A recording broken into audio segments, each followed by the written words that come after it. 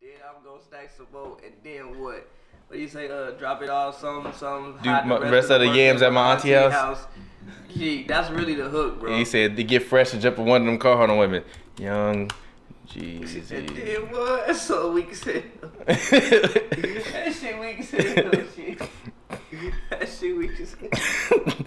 he said he said he said first I'm gonna stack my flow and then what? Then I'm gonna stack some more and then what? Close shop, then I do my count, have the rest of the yams at my auntie house, and then what?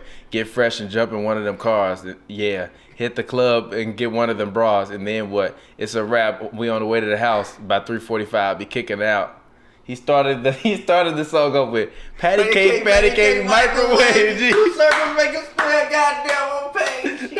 That's what the See, see, old niggas was probably mad as hell when they heard that shit, G.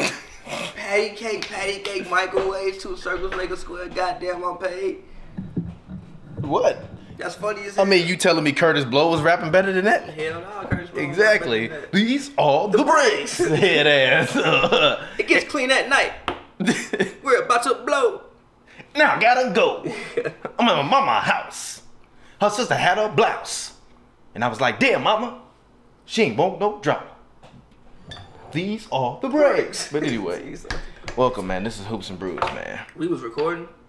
Yeah, we was recording, I bro. have no idea It's fine. recording. Well, for like the second half of that, I didn't. They, they didn't hear you call Young Jeezy trash on, and then what? But now they know you said it. But now it's just hyperbole. You know, It's just hyperbole. But he really said patty cake, patty cake, microwave. two circles make a square, goddamn on page. Shout out Jeezy. He said, "I see you." I he said, "I see you looking with your looking ass, catch no man in the kitchen with his cooking ass." G.